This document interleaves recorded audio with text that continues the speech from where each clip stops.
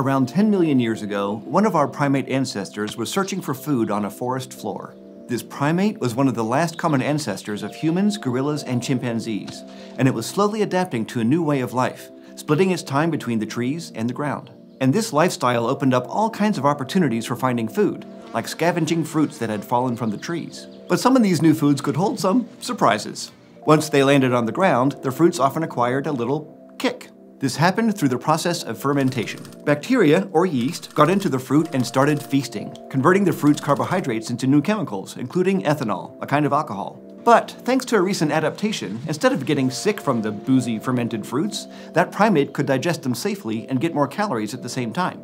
This new superpower would open up a whole new nutritional landscape for us fermented foods. It took millions of years for hominins to go from enjoying nature's own fruit punch to making things like kimchi and beer. But figuring out how that process unfolded has required a lot of scientific sleuthing. Since these foods don't leave much of a trace in the fossil record, scientists have had to rely on a whole bunch of different disciplines, from genetics to experimental archaeology, to solve the mystery of our relationship with fermentation. And it turns out the very evolutionary path of our species may have been shaped, at least in part, by the delicious chemistry of fermentation. On the most basic level, fermentation is simply when microbes metabolize certain foods. Yeast and bacteria, for example, eat lots of the same things that we do. They use enzymes to digest their food, and what they leave behind are byproducts of that process. Now, we're used to thinking of fermentation in terms of things like bread or cheese or wine, but it can happen to pretty much any kind of food molecule carbohydrates, lipids, even proteins. Fruits, vegetables, grains, fish, red meat, they're all fair game as far as microbes are concerned. And hominins have benefited from this process when certain microbes have gotten into our food first and produced the right byproducts. For example, lactic acid bacteria are some of the most common microbes found in fermented foods today, like sourdough bread and cheese. When those bacteria get to work, they produce lactic acid. And the acidic environment that they create keeps other more dangerous microbes from getting into the food. The same thing happens when microbes produce ethanol, also known as alcohol. Perhaps you've heard of it. The alcohol helps make the environment around the food inhospitable to harmful bacteria. So humans didn't invent fermentation. We just took advantage of the work the microbes were already doing, and eventually figured out how to harness that work to make foods that we wanted and that were safer to eat. But for our ancestors, fermented food probably seemed pretty dicey. For example, let's go back to that fruit on the forest floor. When our primate ancestors started eating fermented fruits, the ethanol in them could have posed a big problem. Instead of just getting the sugars and starches that they were used to, now they were absorbing alcohol too. And if their bodies couldn't digest it, the ethanol could have made them sick, quickly. Sort of like getting a bad hangover, but after only a couple sips of booze. Luckily for these primates, though, they acquired the ability to metabolize ethanol much more efficiently than others had in the past. A random genetic mutation led to a change to a digestive enzyme known as ADH4 that shows up in huge amounts on the tongue and in the esophagus and stomachs of primates. And this new version of ADH4 was 40 times better at digesting ethanol, which meant a new source of calories was suddenly available that didn't pose a risk of getting sick. Okay, but eating fruit that's fallen on the ground, that's one thing. But what about drinking milk that's gone sour or eating meat that's kinda rotten? How could either of those things be appetizing? Well, some researchers think that it has to do with how our sense of taste evolved. When our hominin ancestors were hunting and gathering to get their food, their sense of taste was crucial for identifying which foods might be safe and which might be dangerous. And the price of being wrong could be pretty high, as we talked about in our episode about what real paleo diets were like. Today, human taste buds interpret different foods as being sweet, salty, sour, bitter, or umami, which is a savory flavor. Sweet and salty flavors come from nutritious or calorie dense sources, so we tend to seek those foods out. Take carbohydrates, which can often taste sweet. Carbs aren't just the main source of calories in bread and breakfast cereals, they also account for the calories in fruits like bananas or vegetables like yams. As for salty foods, some researchers think that we seek them out because we sweat and lose sodium, so we need more of them. And then there are the bitter flavors, which have helped us interpret that taste as a warning that something might be poisonous. That's because most compounds that produce a bitter flavor, like those in milkweed plants, are toxic at different concentrations. But maybe the weirdest taste adaptation we have is the ability to taste sourness. Most chemicals that produce sour flavors don't have much nutritional value, like, say, vinegar. But foods that have been fermented or are rich in vitamin C often taste sour too. So it's possible that our ability to taste sour foods helped us identify fermented foods specifically, because those foods added important nutrients to our diet. Finally, our preference for that hard to define flavor known as umami might also be related to fermentation. Today, the flavor is usually associated with things like cooked meat and fermented products like miso and soy sauce. But raw meat doesn't have that umami flavor. Plus, it requires more energy to chew and digest than cooked meat. So it's been suggested that our preference for umami might have evolved in response to the nutritional benefits of eating foods that microbes had already pre-digested for us. The flavor was a signal that microbes had already done some of the work.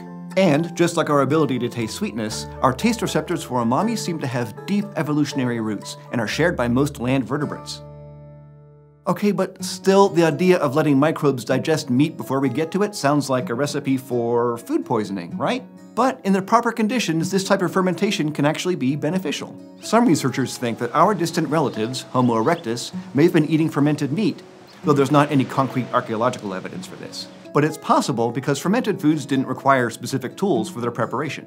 Homo erectus literally would have just had to stash the meat somewhere and wait for example, we know that fermentation can happen if meat is buried or submerged in water. In fact, one paleontologist in the 1990s demonstrated this in a pretty convincing, if kind of odd way, by submerging a dead horse in a pond in late winter. And sure enough, between the cold and the low oxygen environment at the bottom of the pond, by spring the horse meat was sour and cheesy smelling, but also totally free of pathogens and safe to eat. I am so hungry right now. So anyway, it's at least possible that techniques like this could have been used by human ancestors and relatives, including Neanderthals. Thanks to a number of archaeological sites associated with Neanderthals, scientists think that they ate a lot of meat. And it wasn't just scavenged meat. The animals were mostly adults and showed evidence of being butchered. So the assumption was that Neanderthals were big-time carnivores, relying on meat for fat and protein. But an anthropologist named John Speth was puzzled over how they avoided getting scurvy. This is a disease that happens when we don't get enough vitamin C. It's killed millions of people throughout history and can still be a problem today.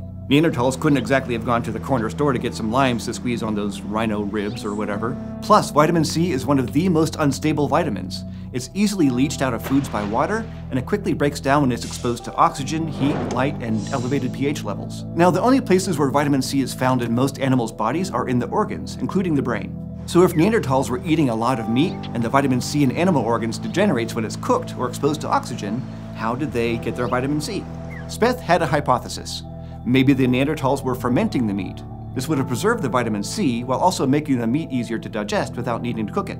If the Neanderthals had stashed those meats somewhere for safekeeping, that might have protected the fermenting meat from oxygen exposure, so the vitamin C would have been more stable. But would they have gotten sick from eating something that was kinda rotten? Maybe not. Speth pointed out that there are a number of cultures today that have been fermenting meat for centuries, like the Inuit, who bury meat in pits lined with acidic leaves. The leaves, along with the acid produced by fermentation, make it difficult for dangerous bacteria, like the ones that cause botulism, to survive.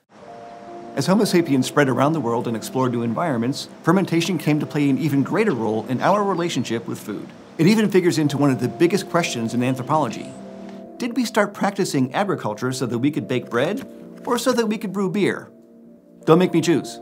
The earliest evidence of brewing comes from a burial site in Israel, which has been dated to 13,700 years ago. And the burials include several mortars, stones that had been hollowed out for grinding and storing foods. And researchers found starches in their mortars that showed signs of having been mashed and fermented. So the people who made those mortars were making alcohol. Whatever drink it was, it was probably very low in alcoholic content, but it's still considered the earliest known evidence of making fermented beverages. Since then, fermentation has come to play a fundamental part of the human diet. We've fermented dairy products into cheese and yogurt, grains and grapes into alcohol, vegetables into pickles and kimchi, and even eggs and meat.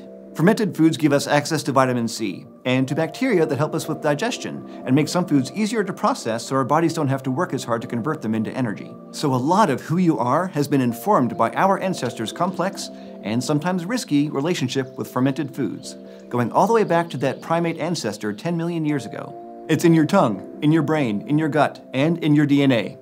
So cheers! Now that I've made you hungry, I guess, be sure to check out our other human diet episode, The Risky Paleo Diets of Our Ancestors. And for more on our evolution, check out the Human Evolution Learning playlist. And thanks to this month's sweet eontologists Lucan Curtis Mahoney, Sean Dennis, Jake Hart, John Davison Ing, Patrick Seifert, and of course, Steve. Pledge your support at patreon.com slash eons and become an eonite. And as always, thank you for joining me today in the Konstantin Haase studio. Subscribe at youtube.com slash eons to learn more about our ancient past.